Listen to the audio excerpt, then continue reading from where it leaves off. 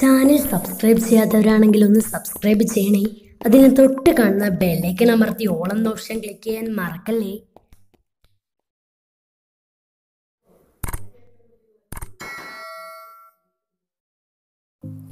ചിത്രം വരയ്ക്കുവാൻ ഉപയോഗിക്കുന്ന ഒരു ജാലകമാണ് മുകളിൽ കൊടുത്തിരിക്കുന്നത്.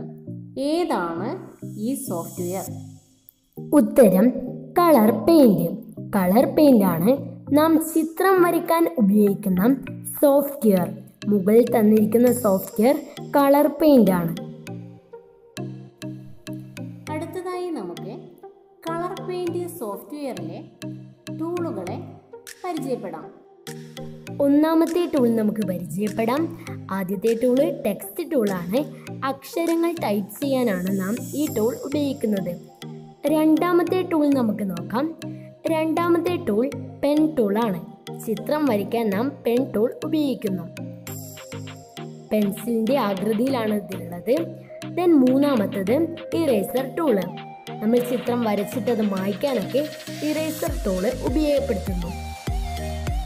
കളർ പെയിന്റ് സോഫ്റ്റ്വെയറിലെ മറ്റൊരു ടൂളാണ് ബ്രഷ് ടൂൾ ഇനി അടുത്ത ടൂളിനെ നമുക്ക് നോക്കാം.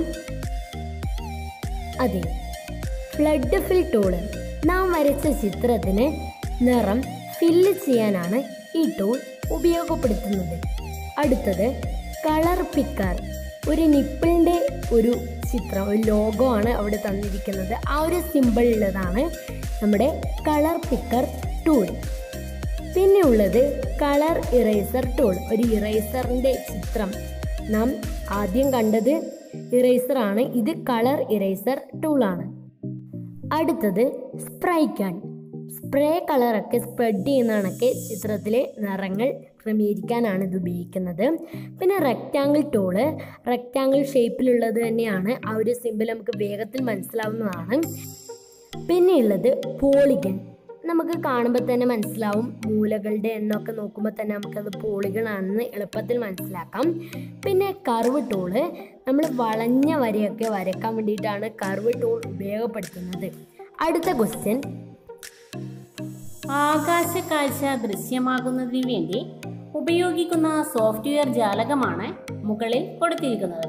ഏതാണ് ഈ സോഫ്റ്റ്വെയർ ആകാശ കാഴ്ച ദൃശ്യമാകുന്നതിന് വേണ്ടി ഉപയോഗിക്കുന്ന സോഫ്റ്റ്വെയർ ഏതാണ് എന്നാണ് ചോദിക്കുന്നത്? അതിന് ആൻസർ സ്റ്റെല്ലേറിയം. സ്റ്റെല്ലേറിയത്തിന്റെ ലോഗോയാണ് നിങ്ങൾ താഴെയായിട്ട് കാണുന്നത്. അപ്പോൾ ആ ചിത്രം നിങ്ങൾ നന്നായിട്ട് പഠിക്കുക.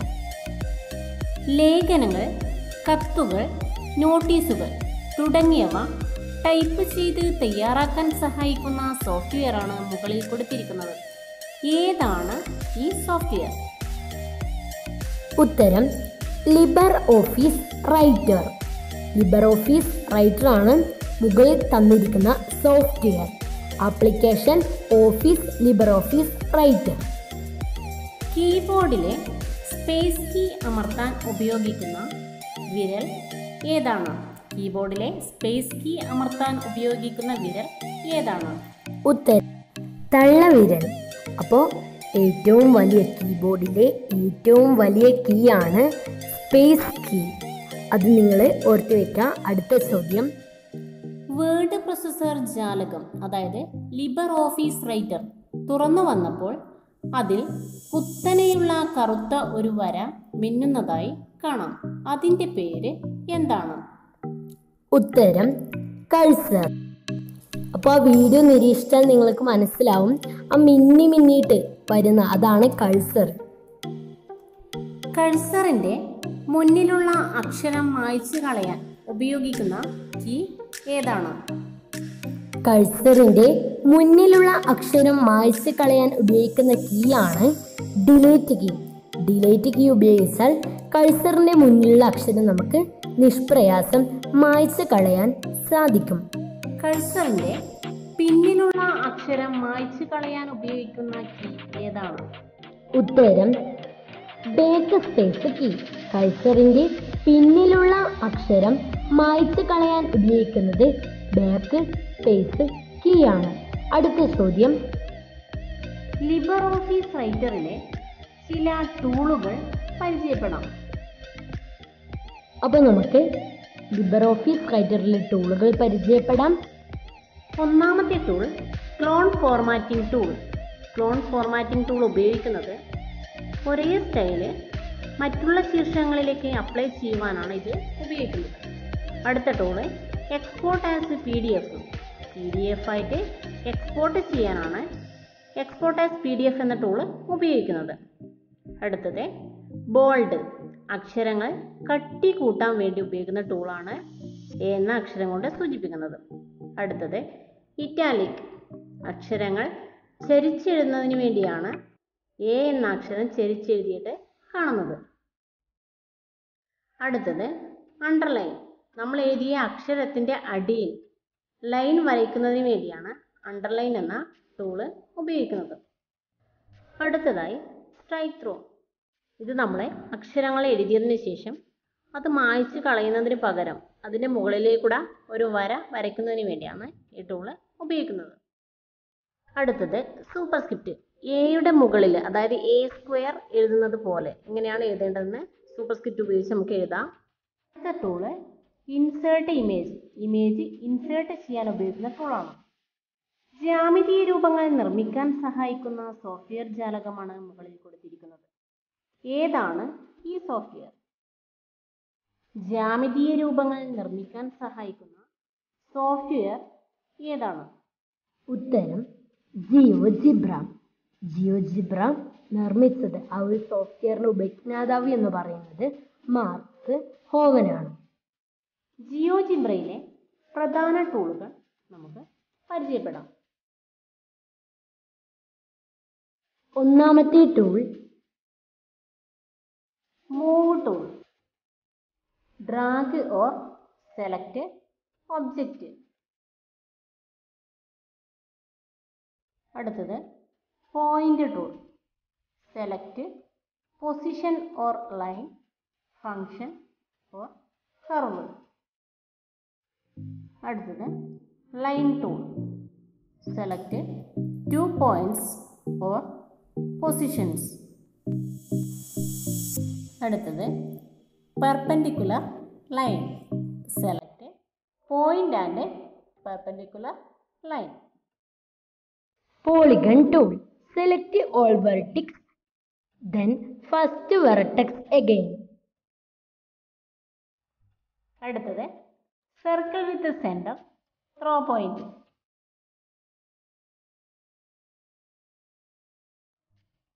അടുത്തത് ellipse tool select two foci then point to ellipse next angle tool select three points or two lines അടുത്ത് reflect about line select object to reflect then line of reflection slider select position അടുത്തത്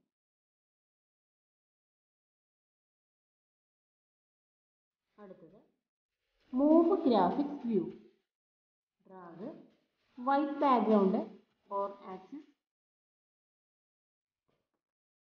രണ്ട് അക്ഷരങ്ങളെ തമ്മിൽ കൂട്ടിയോജിപ്പിക്കാൻ ഉപയോഗിക്കുന്ന key ഏതാണ്? രണ്ട് അക്ഷരങ്ങളെ തമ്മിൽ കൂട്ടിയോജിപ്പിക്കാൻ ഉപയോഗിക്കുന്ന കീ ഏതാണ്? ഉത്തരം ഡി എന്ന കീ. കീബോർഡിലെ ഡി എന്ന കീ ആണ് രണ്ടക്ഷരങ്ങൾ തമ്മിൽ കൂട്ടിയോജിപ്പിക്കാൻ ഉപയോഗിക്കുന്ന കീ. ഭൂമിശാസ്ത്ര പഠനത്തിന് സഹായകരമായ സോഫ്റ്റ്വെയർ ഏതാണ്? ഭൂമിശാസ്ത്ര പഠനത്തിന് സഹായകരമായ സോഫ്റ്റ്വെയർ ഏതാണ്? ഉത്തരം കെ ജിയോഗ്രഫി ഭൂമിശാസ്ത്ര പഠനത്തിനായി ഉപയോഗിക്കുന്ന സോഫ്റ്റ്വെയർ ആണ് കെ ജിയോഗ്രഫി അടുത്ത ചോദ്യം. ലിബർ ഓഫീസ് ജാലകത്തിലേക്ക് ചിത്രം ഉൾപ്പെടുത്തുന്ന ടൂൾ ഏതാണ്? ലിബർ ഓഫീസ് ജാലകത്തിലേക്ക് ചിത്രം ഉൾപ്പെടുത്തുന്ന ടൂൾ ഏതാണ്? ഉത്തരം ഇമേജ് ടൂൾ ലിബർ ഓഫീസ് ജാലകത്തിലേക്ക് ചിത്രങ്ങൾ ഉൾപ്പെടുത്താൻ ഉപയോഗിക്കുന്ന ടൂൾ ആണ് ഇമേജ് ടൂൾ നെക്സ്റ്റ് ക്വസ്റ്റ്യൻ മുകളിൽ കൊടുത്തിരിക്കുന്നത് ഒരു സോഫ്റ്റ്വെയർ ജാലകമാണ്. ഏതാണ് ഈ സോഫ്റ്റ്വെയർ മുകളിൽ കൊടുത്തിരിക്കുന്നത് ഒരു സോഫ്റ്റ്വെയർ ജാലകമാണ്. ഏതാണ് ഈ സോഫ്റ്റ്വെയർ ഉത്തരം മാർബിൾ മുകളിൽ കൊടുത്തിരിക്കുന്ന ആ സോഫ്റ്റ്വെയർ ഏതാണ് എന്ന് ചോദിച്ചാൽ ആ ജാലകം മാർബിളിന്റെ ജാലകമാണ്. അടുത്ത ചോദ്യം. അടുത്ത ചോദ്യം. വെബ് ബ്രൗസറുകൾ ഏതെല്ലാം? ഏതൊക്കെയാണ് വെബ് ബ്രൗസറുകൾ എന്നാണ് ചോദിച്ചിരിക്കുന്നത്. ഉത്തരം. ഒന്നാമത്തത് വെബ് ബ്രൗസറിന് ഉദാഹരണം. ഒന്ന് മൊസില്ല ഫയർഫോക്സ്. Mozilla Firefox. അടുത്ത രണ്ടാമത്തത് ഏതാണ്? അതെ ഗൂഗിൾ ക്രോമിയം ഗൂഗിൾ ക്രോമിയത്തിന്റെ ഓൾഡ് ലോഗോയാണ് നമ്മൾ ഫസ്റ്റ് പിക്ചറിൽ കാണുന്നത്. ഇപ്പോൾ ഉള്ളത് ആ രണ്ടാമത്തെ പിക്ചറിൽ കാണുന്നതാണ്. പിന്നെ മൂന്നാമത്തെ ഉദാഹരണം എന്ന് പറയുന്നത് മൈക്രോസോഫ്റ്റ് എഡ്ജ് ആണ്. ഇതൊരു ബ്രൗസർ ആണ്. അടുത്തത് സഫാരിയുടെ ഒരു ലോഗോയാണ് സഫാരി ഒരു വെബ് ബ്രൗസർ ആണ്. അപ്പൊ നാല് ഉദാഹരണങ്ങളും പഠിച്ചു വെക്കുക. ഇന്റർനെറ്റിൽ നിന്ന് നമുക്ക് ആവശ്യമായ ഒരു ചിത്രമോ മറ്റു വിവരങ്ങളോ തിരഞ്ഞു കണ്ടെത്തുന്നതിന് ഇന്റർനെറ്റിൽ തന്നെ പ്രവർത്തിക്കുന്ന സംവിധാനത്തിന്റെ പേര് എന്ത്? ഉത്തരം സെർച്ച് എൻസിനുകൾ അപ്പോൾ അടുത്ത നമുക്ക് നോക്കാം എന്താണെന്ന്. പ്രധാനപ്പെട്ട സെർച്ച് എഞ്ചിനുകൾ ഏതൊക്കെ? പ്രധാനപ്പെട്ട സെർച്ച് എഞ്ചിനുകൾ ഏതൊക്കെ? അതെ ഒന്നാമത്തത് deck deck. Deck deck go. ഒന്നാമത്തെ സെർച്ച് എഞ്ചിൻ ഉദാഹരണമാണ് ഡെക് ഡെക് ഗോ. രണ്ടാമത്തെ സെർച്ച് എഞ്ചിന് ഉദാഹരണമാണ് യാഹു. യാഹു ആണ് രണ്ടാമത്തെ സെർച്ച് എഞ്ചിന് ഉദാഹരണം. മൂന്നാമത്തെ സെർച്ച് എഞ്ചിന് ഉദാഹരണമാണ് വെബ് ക്രൗളർ. സെർച്ച് എഞ്ചിന് ഉദാഹരണം മൈക്രോസോഫ്റ്റ് ബിൻ എന്നാണ്. ആ ലോഗോ നിങ്ങൾ മനസ്സിലാക്കി വെക്കുക.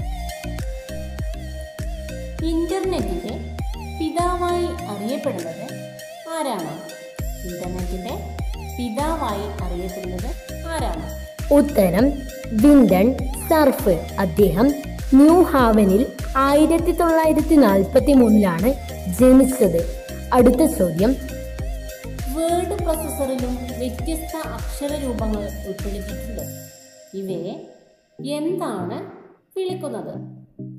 ഉത്തരം ഫോണ്ടുകൾ. ഫോണ്ടുകൾ എന്നാണ് ഇവയെ വിളിക്കുന്നത്. അടുത്ത ചോദ്യം.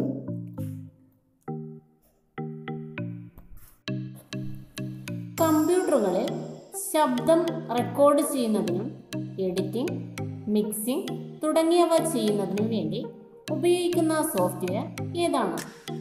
ഉത്തരം ഒഡാസിറ്റി. ഒഡാസിറ്റിയുടെ ലോഗോയാണ് നാം താഴെ കാണുന്നത്. ആ ലോഗോ നിങ്ങൾ ഓർമ്മിച്ച് വെക്കുക. ഒഡാസിറ്റിയുടെ എക്സ്റ്റൻഷൻ എന്താണ്? അതായത് ഒഡാസിറ്റിയുടെ ഫയൽ ഫോർമാറ്റ് എന്താണ്?